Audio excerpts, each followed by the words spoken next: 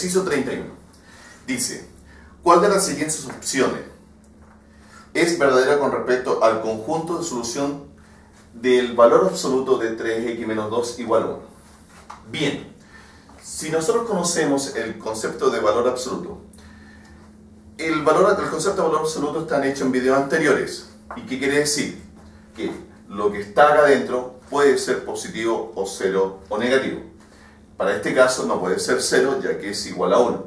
Este, este tenemos que es positivo o negativo. Vamos a ver por las dos opciones.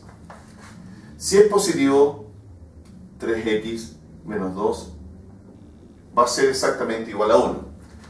Resolvemos esta ecuación. Me dice que 3x es igual a 1 más 2. 3x es igual a 3, x es igual a 1. Pero, o este es el valor positivo, o el que está dentro es negativo. Y esto tiene que ser igual a 1. Bien, veamos. Menos 3x más 2 es igual a 1. 2 menos 1 es igual a 3x. 1 es igual a un tercio. Entonces, veamos si estos son números al cual reemplazarlo me da 1. Si reemplazo el 1, 3 por 1, 3. Le resto 2, 1. Valor absoluto de 1, 1. Está bien. Reemplacemos un tercio. 3 por un tercio me da 1. 1 menos 2 es menos 1. Pero está en valor absoluto. Valor absoluto de menos 1 es 1. También cumple con ser solución de, ese, de esa ecuación con valor absoluto. A ver, ¿cuál es la siguiente alternativa? La alternativa correcta es la A. Dice, tiene dos soluciones reales positivas y distintas. Alternativa A. Ejercicio 32. La, dada la función f de x igual al cuadrado de x, entonces calcular f menos perdón, f de a menos b menos f de a menos f de b. Bien, para esa expresión dice, todo lo que está acá adentro lo elevo a 2. Todo lo que está acá adentro lo elevo a 2. a menos b lo elevo a 2. Menos, todo lo que está adentro lo elevo al cuadrado. a al cuadrado. Menos, lo mismo, todo lo que está adentro lo elevo al cuadrado, que en este caso sería b cuadrado. Resolvamos esto. Esto es un cuadrado de binomio. Está en videos anteriores. El cuadrado de binomio es el primer producto al cuadrado menos el doble producto del primero por el segundo, siempre más el segundo al cuadrado. Le vamos a agregar menos a cuadrado menos b cuadrado. Simplificando el a cuadrado con menos a cuadrado menos b cuadrado con b cuadrado, solamente me quedaría la expresión 2ab que corresponde a la alternativa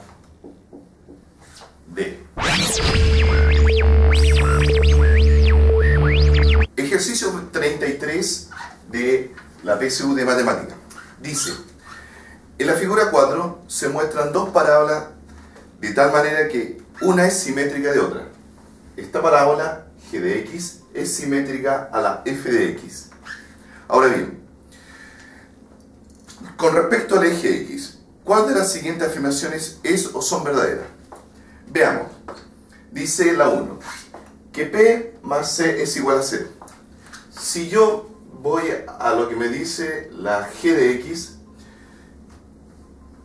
por, por construcción de, parábola en video anterior habíamos dicho que el término C es el que corta al eje Y, en, en el término C corta al eje Y en este ejercicio, en este, en este eh, plano cartesiano. Y en f de x, este viene siendo p. Y como son simétricas ambas, quiere decir con respecto a x son simétricas una respecto a otra, si este es 2, su simétrico va a ser menos 2. Si es 3, su simétrico va a ser menos 3, etcétera, etcétera. Si yo sumo c más, c más p, c más p, como son simétricos de signo contrario, va a dar 0. En este caso estaría bien, verdadera. Veamos la número 2. Dice que m mayor que 0 y a es menor que 0. Si A es negativo, como nos dice aquí, la, la función G tendría su rama hacia abajo, como la función M. Y dice que M es positivo. Si M es positivo, tendría ese sentido. Entonces, es como está, está escrito al revés. Entonces, para la función G y para la función M, estas A, tanto A como M no, no, son verdaderas. Y dice que para cuando valga eh, menos 1 lo será igual para menos 1 eh, invertida, sí, porque para cada valor va a corresponder su refleja en el sentido contrario. Van a dar si va un valor, el otro va a ser el opuesto. Entonces, para los dos son verdaderas. 1 y 3. Alternativa C. Para el ejercicio 34 dice, la gráfica que mejor representa la función g igual 2 menos raíz cuadrada de x para todo número mayor que 0. Eh, vamos a calificar esta función. Primero, la mejor opción para poder yo graficar esa, darle algunos valores para x para obtener su imagen en y.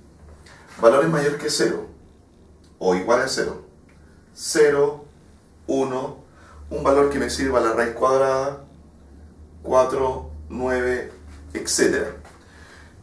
Si este valor es 0, lo reemplazamos acá en la función, quedaría raíz cuadrada de 0 es 0. 2 menos 0 es 2. Vamos a reemplazar el 1. Raíz cuadrada de 1 es 1. 2 menos 1, 1. Reemplazamos el valor 4.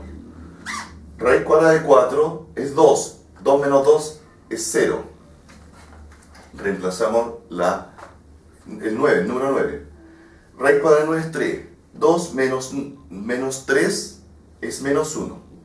Y ya con estos valores ya podemos indicar más o menos cuál es la función. Cuando vale 0, cuando vale 0, esto sube a 2. Pasa el primer punto. Cuando vale 1, esto sube a 1. más o menos por ahí. Si esto es 4, 2, 3, 4. Si esto es 4, su valor es 0. Y si esto es 9, va a bajar hasta un menos 1. Entonces la gráfica debería ser ah, más o menos, o la que mejor representa a eso. Esta corresponde a la alternativa A. Para el ejercicio 35 es una lectura. A medida que vamos leyendo vamos a ir anotando los datos para poder graficar. Me pregunta cuál es de los gráficos siguientes es la alternativa que mejor se acerca al problema. Leamos. Por primera vez y durante 5 minutos un enfermo se le inyecta en el torrente sanguíneo un medicamento. O sea, hay un, hay un sentido de tiempo, lo, el sentido de tiempo de 5 minutos. Dice que en este lapso, en este lapso de tiempo, la cantidad de medicamento en la sangre del paciente aumenta en forma lineal. Es en forma de lineal. ¿Qué significa esto? que a medida que pasan los minutos, su corriente sanguínea se transforma en una línea. Entonces, este sería el eje del tiempo. Entonces, durante los primeros 5 minutos, esto va a ocurrir en forma lineal. No puede partir de, más, eh, porque como es una inyección, la inyección comienza de cero. Entonces, nuestro valor inicial va a ser de 0, 0 no tiene nada, no tiene, eh, no se le ha inyectado nada antes, entonces ya empieza de cero. Sigamos leyendo.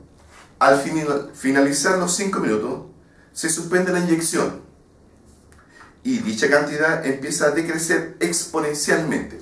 Entonces, pasados los 5 minutos, del minuto, del minuto 5 y después, empieza a decrecer en forma exponencial. En videos anteriores ya habíamos dicho cuando una función crece de forma exponencial y eh, como va a decrecer en forma exponencial, también tiene la siguiente forma. Decrece, decrece, decrece, decrece, decrece, decrece, decrece, decrece. Y en ningún momento, digamos, va a llegar a el cero. Entonces, este viene siendo como un cerrito en forma lineal y una curva después de pasado los 5 minutos. Si I es la cantidad de medicamento de la sangre del paciente y T es el tiempo en minutos desde que comenzó a inyectar el medicamento, ¿cuál de los siguientes gráficos representa mejor la situación descrita? Para esto es la alternativa C, ya que empieza de cero, crece, crece, crece hasta completar 5 minutos y pasados los 5 minutos empieza a decrecer en forma exponencial. Entonces la que mejor representa la inyección al paciente es la alternativa C.